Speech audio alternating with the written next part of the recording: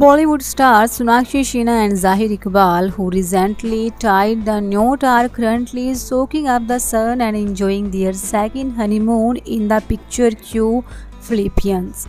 The couple has been sharing glimpses of their romantic getaway, much to the delight of their fans. Their honeymoon, which they have dubbed Honeymoon Round 2, has provided an intimate look into their newlywed life filled with love, laughter, and loads of fun activities.